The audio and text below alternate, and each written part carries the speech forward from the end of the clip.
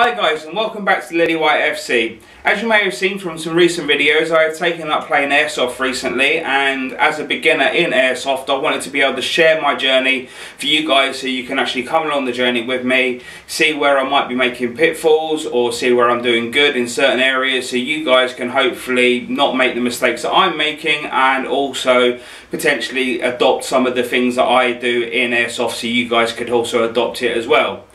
So as you know from the first video that I put out where I was playing at Trigger Happy, at the very beginning of that video I also showed you my first weapon that I bought which was my Glock, M, uh, Glock 17 um, and uh, you know it's running really well. Um, I played a couple of games at some other areas since. I didn't document them because I'm an idiot. Um, but uh, yeah absolutely loving this pistol. Got the two magazines. It runs through fine. I haven't had any issues with it so far touch wood in my shed. Um, so, you know, absolutely loving this. But as you can see from the title, I've got myself a new weapon and I'm just going to go and grab it and then we're going to review it. So this is the CYMA MP5.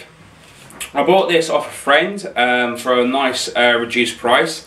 Uh, the reason why mainly is because when I bought this, uh, it was actually running at a high FPS. In Northern Ireland, uh, you can't have an FPS any higher than 328 um, and this was running roughly around about 345 so uh, it was running a little bit hot so I ended up taking it to um, a, a, guy uh, down at Gears of War um, and they reduced the FPS for me. A really good deal down there as well. Gears of War, great bunch of lads down there.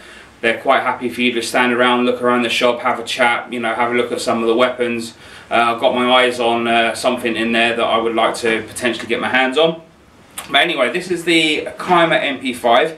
So we'll just do a quick overview of the uh, weapon itself. I'll uh, show you some of the uh, standout points uh, on it and uh, we'll put a couple of rounds through it at a, uh, one of my targets. So here we go then, just having a look. as you can see here, this is the muzzle brake or flash hider if it was a real weapon. Um, and also you've got iron front sights here. Uh, the weapon, uh, when you buy it, actually comes with the uh, rails on the side and also on the bottom as well, and it also comes with this um, foregrip. It's actually quite a uh, sturdy foregrip. Um, it clips into place really well. It doesn't move. I'm actually putting a little bit of effort through this, and it's not moving anywhere. However, this rail here, I got the other week, and I also did get a red dot sight as well to go with it. Unfortunately though, um, I think I screwed it a little bit too hard with the screwdriver to adjust the uh, elevation on it and I broke it. So I'm not too fussed because it wasn't that expensive, but at the end of the day it was a little bit of a waste of money, so don't tell the wife. Uh, got the magazine release here. Uh, you got the flappy one, which is the normal one, which you, you know you take the magazine out. Um, but you've also got um, a backup here as well. So if something goes wrong, with the flappy one, you've also got a little button suppression one here, which is also yeah again quite handy. Moving back, uh, got the trigger and also the um, grip as well. Uh, quite good in my hand. Uh, as you can see there, fits my hand really well. Um, my finger, um, mid middle finger and my little finger fit in their area absolutely perfectly. And you've also got the fire selector switch, which is ambidextrous. So as you can see here, on this side, I'm changing it on the other side. So you've got single and you've got full automatic. Carrying on back along here then, uh, you got the rear sight, uh, which as you can see has uh, multiple options. So you got like a, a wide, wide end, uh, sorry, a wide one, medium, smaller, and the smallest but uh, just keep it on the medium one there. Doesn't really much make much difference.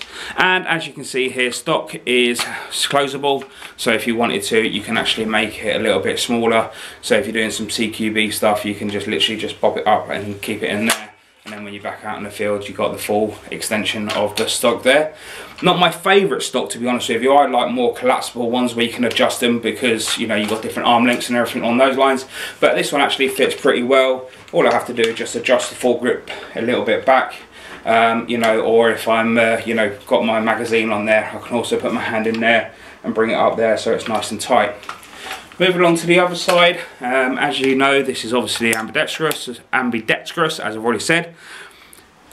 This thing here, I have no idea what this is for. Uh, I don't know if it's there because it's on the real one uh, or whether this actually has any kind of, you know, use. Uh, if anybody can tell me what this little thing here is for in the comments below, I really appreciate that. And coming along to the front again, you can see here you've got a charging handle.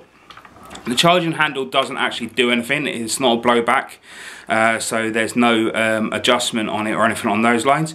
But what it does do when you actually pull the handle back, yeah again flipping over the other side, you can see it reveals the hop up in there and as you can see there, there's a little slider there, put it back, put it forward and it adjusts the hop up on the weapon.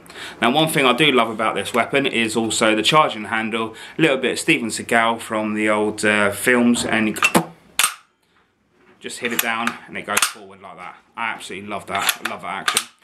And that's it. That is the CYMA MP5. Now, I'm going to uh, run some rounds through it now. Just going to, like I say, set up a target down range. Down range, listen to me. I'm going to set up a target down near the house. Just going to put a magazine on, which I actually, I'm going to show you in a second. I actually picked this up from, uh, hang on, two secs. I picked up this magazine from uh, the Nutts Corner Market at the weekend. Um, I paid three quid for this. Absolutely brilliant. I actually got three magazines with the weapon, all high caps, and none of them run as well as this one does. This one is absolutely brilliant. Just literally, it's a high cap magazine um, it just fills up on the one hand, on the left hand side so it doesn't hold as many rounds as the other high cap magazines. But I just actually like it I like the feel of it and like I say it runs through really really well which I'm going to show you in a second. So let's get the target set up run a couple of rounds through it and uh, then we'll end the video.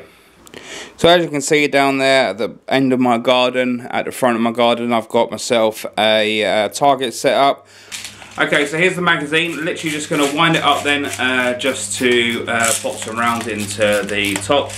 Um, I've actually filled it up um, just to uh, just so I can actually put it in. So that's it in the weapon. Don't have to do any more, no charging like I said or anything on those lines. Eye protection obviously must be adhered to all the time. Unfortunately getting a bit of a fogging issue here. A little bit annoying. Come on. There you go. Better. So anyway, let's uh, just put some rounds into the uh, target then.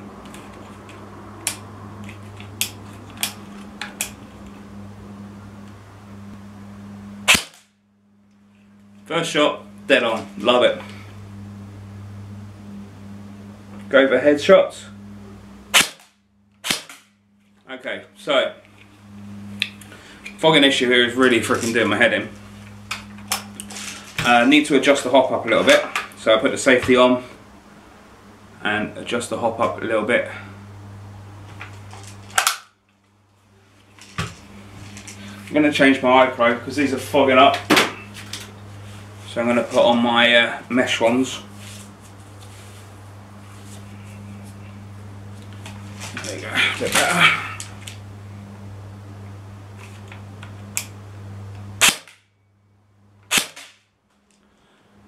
So hitting the target, doing pretty well with this.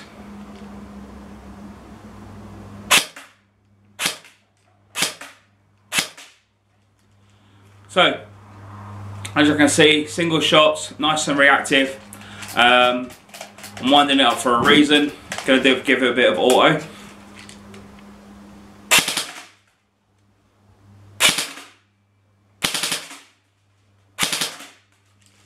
Nice and uh, Nice trigger happy there. So just going to step back just so you can see hopefully some of the rounds coming out. Might put a little bit of a slow-mo on it.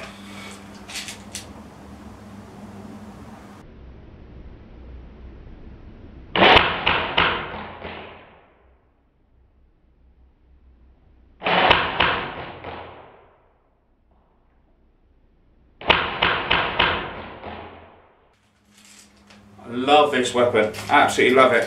Like I say, this magazine is absolutely brilliant. It feeds really, really well. It feeds a lot better than, uh, than like say, the other high caps do. I actually, you know, I know that I'm only, what, 20, 30 yards away from the target. Absolutely bang on, hitting it perfectly.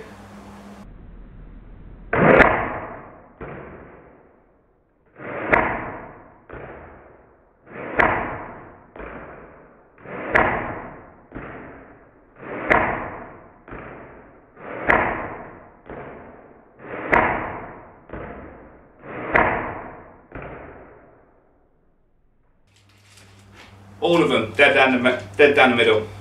So anyway, that is it.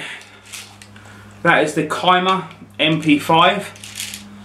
Absolutely amazing weapon. Um, would strongly suggest uh, a great weapon for a starter and also if you want to do some CQB stuff. And uh, yeah, so hopefully uh, take this down to my local uh, CQB place this weekend.